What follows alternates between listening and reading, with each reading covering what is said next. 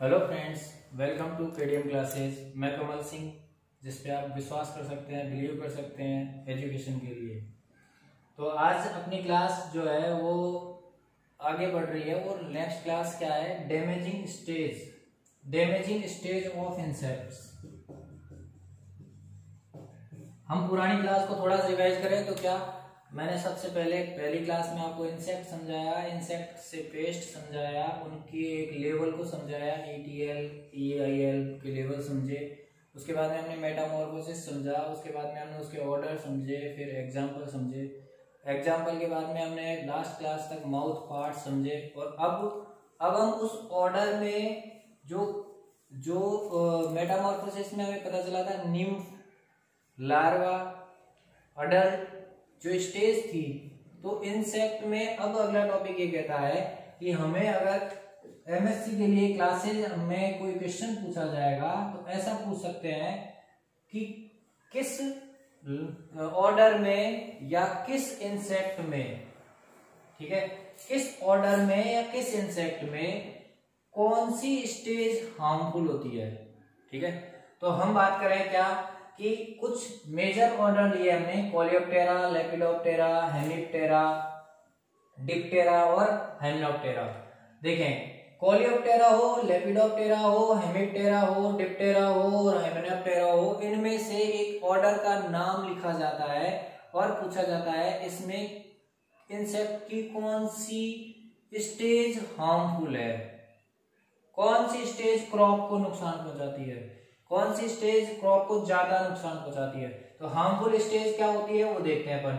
हमने ये पढ़ा हुआ है कि स्टेज या तो निम्फ होगी। इनकम्प्लीट मेटामॉर्फोसिस की बात करेंगे तो उसमें निम्फ स्टेज होगी, या अडल्ट होगी। सेकंड या फिर एग एग कभी भी हार्मफुल नहीं होंगे। लार्वा स्टेज होगी, या फिर प्यूपा स्टेज होगी, या फिर अडल्ट स्टेज होगी। इन चार पाँच स्टेज में से कौन सी स्टेज ज़्यादा ज़्यादा हार्मफुल होती है तो उसके बारे में बात करेंगे हम। ध्यान से समझे, एक चीज़ कि लार्वा स्टेज जो होती है इंसेक्ट की, वो सबसे ज़्यादा हार्मफुल होती है, उसका रीजन होगा कि लार्वा स्टेज जब भी जब भी एग हैच होके और लार्वा या निम्फ बनेगा तो उसे अपने अपने लाइफ लाइफ को आगे बढ़ाने के लिए वो सबसे ज़्यादा न्यूट्रिएंट चाहिए उसे, सबसे ज़्यादा खाना चाहिए। तो वो क्या करता है? वो फ़ूड चाहिए उसे। तो वो सबसे ज़्यादा अपने आप को फ़ूड के लिए डेवलपमेंट के लिए, खुद के डेवलपमेंट के लिए फ़ूड की रिक्वायरमेंट रखता है तो वो खाता जाता है। और खाता जाता है तो वो क्रॉप को डैमेज करता है। तो इसका मतलब लार्वा स्टेज हम सबसे ज़्यादा हार्मफुल स्टेज मान के चलते हैं। तो कोलियोप्टेरा जो ऑर्डर है कोलियोप्टेरा ऑर्डर में लार्वा स्टेज सबसे ज़्यादा ग्रब की नाम की, क्या कहलाती है? ग्रब कॉलियोप्टेरा ऑर्डर में लार्वा स्टेज और अडल्ट स्टेज दोनों ही हार्मफुल होती है। कॉलियोप्टेरा के अंदर लार्वा स्टेज और अडल्ट स्टेज दोनों ही हार्मफुल होती है। इसमें लार्वा को हम किस नाम से जानते हैं? ग्रब। यह है इंपॉर्टेंट पॉइंट होगा कि कॉलियोप्टेरा ऑर्डर के अंदर लार्वा किस नाम से जाना जाता है? ग्रब के नाम से जाना जाता है और उसमें लार्वा और अडल्ट दोनों ही दोनों ही हार्मफुल स्टेज है। तो क्वेश्चन अगर पूछा जाए कि कोलियोपेरा में कौन सी स्टेज ज़्यादा हार्मफुल है तो आंसर जाएगा बोथ लार्वा और अडल्ट ठीक है? और अगर इसको क्वेश्चन को फिर से मोडिफाई किया जाए तो ऐसे लिख सकते हैं first option grub second caterpillar nymph और लिख दिया ऑल तो आंसर जाएगा ग्रब आप इस क्वेश्चन को देखना, आपको कहीं ना कहीं ये वाला वेटेज के क्वेश्चन ज़रूर दिखेगा। ये बहुत अच्छा टॉपिक है डैमेजिंग स्टेज ऑफ़ इंसेक्ट्स तो लेपिडोप्टेरा की बात करें तो कैटरपिलर कैटरपिलर लार्वा जो होता है, उस लार्वा को हम कैटरपिलर बोल रहे हैं, वो केवल और केवल लेपिडोप्टेरा के अंदर होगा। लेपिडोप्टेरा में लार्वा होगा, वो कैटरपिलर के नाम से जाना जाएगा और ये कैटरपिलर ही डैमेजिंग स्टेज की तरह काम करता है। डैमेजिंग स्टेज इस लार्वा की किस नाम से जाना जा रही है? कैटरपिलर लार्वा के नाम से। थर्ड हेमिप्टेरा हेमिप्टेरा किससे मिलकर बना है? होमो प्लस हेट्रोप्टेरा से।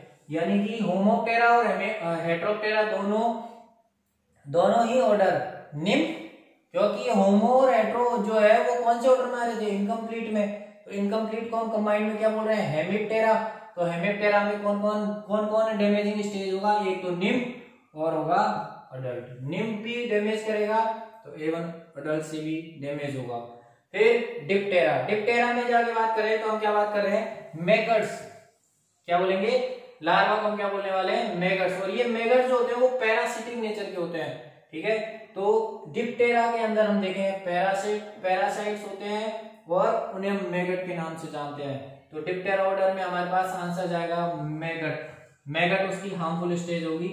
लास्ट वन हिमनेटेरा जिसमें टॉक्सिक सब्सटेंस है, ये लगभग लगभग सभी इंसेक्ट जो होंगे इंसेक्ट क्या करेंगे? बेनिफिशियल इंसेक्ट होते हैं। जैसे आपने पढ़ा भी होगा, हनी बी और वास्प तो हमने इन पाँच ऑर्डर को सेलेक्ट किया है। एग्ज़ाम के पॉइंट ऑफ़ व्यू से ये पाँचों ही अपना अलग से वेटेज रखते हैं। आपसे फिर रिक्वेस्ट कि आप, मैं जैसे जैसे बता रहा हूँ, वैसे वैसे वैसे रिवाइज करते जाएँ। देखो, मैं पुरानी क्लास को रिवाइज इसलिए करने के लिए कह रहा हूँ कि आप पुरानी क्लास के वीडियो को कंप्लीट देखा करें। वो क्लासेस कंटिन्यूटी क्लास है। अगर आप इस वीडियो को डायरेक्ट देखोगे तो आपको समझ में नहीं आएगा। इससे पहले वाली क्लास को देखो तो आपको पता चलेगा माउथ पार्ट क्या है। माउथ पार्ट में कौन कौन से पार्ट किस नाम से जान जाते हैं और क्या काम आ रहे हैं, क्या उनका यूज़ है। उससे पहले जाए तो हमने उसके एग्ज़ाम्पल लिखे हैं, किसके? इनकम्प्लीट और कंप्लीट मेटामोरफोसिस के। उसमें कौन सा ऑर्डर किस इंसेक्ट को रख रहा है। अब आप दिमाग लगाना और मुझे अभी अगले या फिर मुझे कमेंट करके बताना। मैं आपसे क्वेश्चन पूछ रहा हूँ कि लेपिडोप्टेरा का एग्ज़ाम्पल क्या है। अगर आपको उसके एग्ज़ाम्पल पता चल जाए तो आप वो बता सकते हो कि लेपिडोप्टेरा में आने वाले एग्ज़ाम्पल में कौन सी स्टेज हार्मफुल होगी। तो आंसर जाएगा कैटरपिलर समझ में आ रही है? तो हम ऐसे क्वेश्चन आपसे पूछने वाले हैं। अगले वीडियो में, अगले वीडियो में मैं आपसे अब तक के वीडियो के क्वेश्चंस पूछूँगा और क्वेश्चंस आपको मैं लिख के यहाँ पे बोर्ड पे डिस्प्ले करूँगा और बोर्ड से आपसे क्वेश्चन के आंसर पूछना चाहूँगा। आप चाहें तो मुझे कमेंट करके आंसर ज़रूर दिया दे। और उसको मैं बाद में जाके अगली क्लास में सॉल्व भी करूँगा। तो अभी मैं जो नेक्स्ट लेक्चर लेके आऊँगा, वो मैं लेके आऊँगा कि अब तक की क्लास के कौन कौन से क्वेश्चंस इंपॉर्टेंट है और कौन कौन से क्वेश्चंस क्या क्या कहना चाहते हैं। ठीक है? तो अभी मैं आपको ये वाला वापस से रिवाइज कर देता हूँ कोलियोप्टेरा इसमें आपके पास ग्रप और अडल्ट दोनों ही डैमेजिंग स्टेज करते हैं। लेपिडोप्टेरा में कैटरपिलर हेमिप्टेरा में निम्फोर अडल्ट और टिप्टेरा में पैरासाइट जिसे मेगट बोलते हैं। मेगट यहाँ इंपोर्टेंट होगा। और हेमिनोप्टेरा के अंदर क्या होंगे? बी और वास्प सभी लगभग बेनिफिशियल होते हैं। तो क्लास आज का आज की क्लास यहीं तक रोकेंगे। अब हम नेक्स्ट क्लास में नया कुछ टॉपिक लेके आएँगे और टॉपिक जो लेके आएँगे, उसमें हम बात करेंगे किसकी? माउथ पार्ट की। कि कौन से इंसेक्ट का माउथ पार्ट किस तरीके का होता है? पायरसिंग कटिंग टाइप का होता है कटिंग और चेविंग टाइप का होता है या लेपिंग टाइप का होता है। तो वो जो जितने भी टाइप हैं, उन्हें हम इसी तरीके से पढ़ने वाले हैं। और आज की क्लास में आपको क्या क्या समझ में आया, आप प्लीज़ मुझे कमेंट करके ज़रूर बताया करें। आप लोग ज़्यादा से ज़्यादा वीडियो को एमएससी वाले बच्चों को ज़रूर फॉरवर्ड करें। मैं आपके लिए इतना काम कर रहा हूँ कि आप इस इस वीडियो को, ये जो मैं तो आपको चार या पाँच वीडियो दे रहा हूँ, ये चार और पाँच वीडियो आपको एक एक वीडियो एक एक क्वेश्चन का वेटेज रख रहा है। एंडोमोलॉजी नौ क्वेश्चन लेके आएगी। नौ क्वेश्चन में से मेरा ये टारगेट कि मैं आपको हर टॉपिक ऐसे ही शॉर्ट करके पढ़ाऊँ। थ्योरी में पढ़ने, पढ़ोगे तब भी आप इसका कंक्लूजन ऐसे ही निकालोगे, जैसे मैं अभी आपको यहाँ पे डायरेक्ट लिख के दे रहा हूँ। और आपके क्वेश्चंस जो भी बनते हैं, आप चाहें तो मेरे से क्वेश्चन ज़रूर पूछें। आप, मुझे ऐसे लगता है कि आप वीडियो देखते हैं और वीडियो देखते उसे हटा देते हैं, जैसे कि आपकी एक थॉट बनी हुई है। उस थॉट को चेंज करें प्लीज़ आप इस वीडियो को ध्यान से समझें, ये आपको कहीं कहीं वेटेज देके जाएगा। जब सिलेक्शन होता है, तब आप ऐसे बोलने वाले हो करे वो सर ने क्लास लगाई थी, उस उस क्लास के अंदर आपको पूरा वैसे वैसे क्वेश्चन मैच करके। वो ऐसा नहीं होना चाहिए, उससे पहले ही आप इसको चेक कर लो ना। आप सोचो, मैं खुद सेलेक्ट करके आपको बता रहा हूँ। क्यों? क्योंकि आप जाके उस पूरी पूरी बुक को पढ़े, और बुक को पढ़ने के बाद में किसी टॉपिक को पढ़ रहे हैं आप वो टॉपिक के अंदर आप उसका एनालिसिस कर रहे हैं और एनालिसिस को उसे समरी कर रहे हैं और मैं आपको डायरेक्ट समरी बता रहा हूँ। तो क्या आप इस पे वर्क करके देखें? आपको कुछ पॉजिटिव लगे तो ज़रूर बताएँ। चैनल को ज़रूर सब्सक्राइब करें लाइक करें कमेंट करें और बेल आइकन ज़रूर प्रेस करके रखें जिससे मेरी नई अपडेट आपको टाइम टू टाइम मिलती रहे। Thank you thank you so much